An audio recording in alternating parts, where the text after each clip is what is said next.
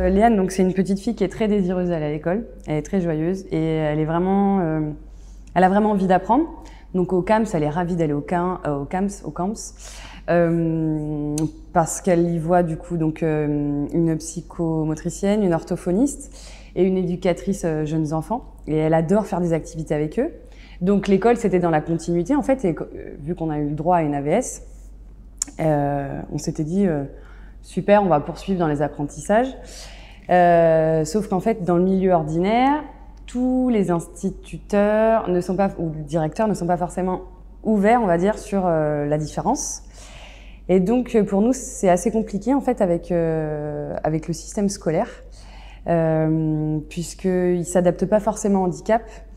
Ils n'ont pas voulu forcément rencontrer le camps qui, eux, étaient prêts et qui les avaient sollicités, en fait, pour dire, ben voilà, Léane, euh, on est en train de travailler sur les contraintes au camps, donc bah, du coup, il faudrait peut-être plus faire comme ça, voilà. Ils ont été assez fermés en fait de ce côté-là. Du coup, on a provoqué une réunion à l'école avec euh, tout le monde autour de la table.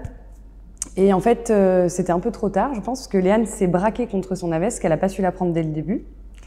Donc, euh, autant vous dire que là, l'année scolaire qui arrive va être très compliquée. Mais ça n'enfreint pas le fait que Léane est quand même ravie d'aller à l'école. Par contre, son AVS, c'est vraiment... voilà, c'est très compliqué.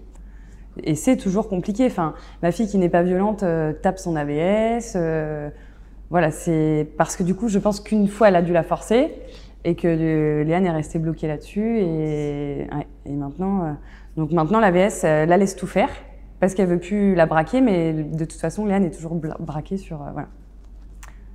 Je pense que en tant qu'instituteur, il devrait s'appuyer sur des personnes habituées à, différents handicaps après, euh, les AVS, malheureusement, ils ont des emplois précaires, enfin, et peut-être peu de formation. Euh, donc c'est vrai que moi personnellement, j'avais communiqué tout, le dossier médical euh, à, à l'AVS et à l'institutrice et à la directrice avec euh, toute la fiche orphanette du, du syndrome. Et en fait, ça les a apeurés plus qu'autre chose. Je leur ai donné une semaine après la rentrée. Et une semaine après la rentrée, ça a été euh, Ah oui, mais c'est qu'elle peut faire une crise pour ci, pour ça. Alors qu'en fait, chaque enfant est différent. Et ça, j'ai beau leur dire, euh, je lui dis, vous inquiétez pas, quand vous allez allumer la lumière, elle va pas vous faire une crise, ou, euh, ou s'il y a trop de bruit autour d'elle, elle va pas faire une crise. Voilà, elle, c'est juste sur fièvre, enfin, voilà.